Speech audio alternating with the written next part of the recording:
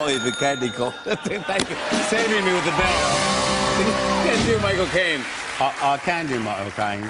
That's my. Uh, Michael Caine, uh, uh, uh, we asked him once, how, how do you go about choosing a movie? And he said, well, what I do is I sit in a nice, comfortable chair and I read the script they want me to consider.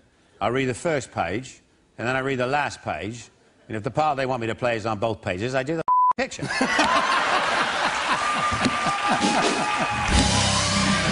That's how you do it right there.